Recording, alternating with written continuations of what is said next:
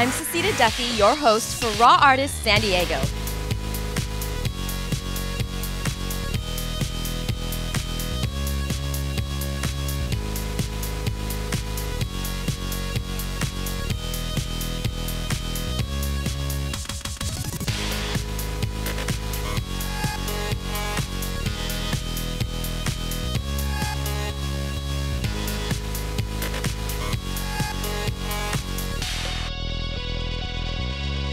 My name is John O'Mara, and I am a photographer.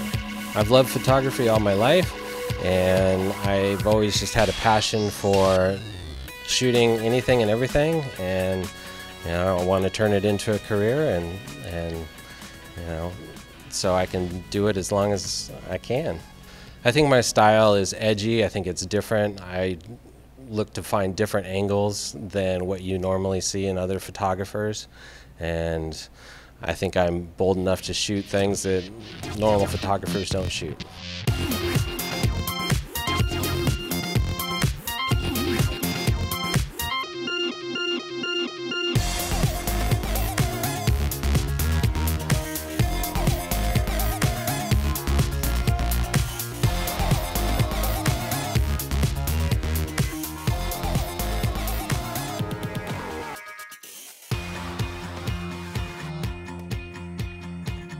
I want to just get my work out there. I want people to see what I do and create that synergy with other people that want to create art with me and to you know make images that you know they can you know inspire them or draw them in you know in interesting ways.